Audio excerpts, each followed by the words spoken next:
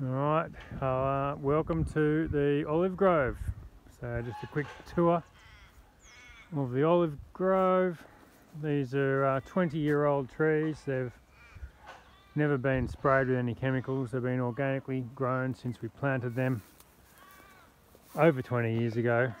Uh, we've harvested them a couple of months ago. There's still a few olives on some of these branches. So these are some branches that weren't very well pruned and so they haven't shaked properly when the machine came and, and shook them. But uh, yeah, these are Corregiola olives, the premium Italian variety, low yielding. Although this year they yielded very well. We've had good rain. And um, yeah, we can see here on the ground we've got full ground cover. We we don't use herbicides there's lots of clover growing under here that's providing nutrition to the trees. There's a lot of kangaroos living in this paddock actually, but they don't they don't do any harm.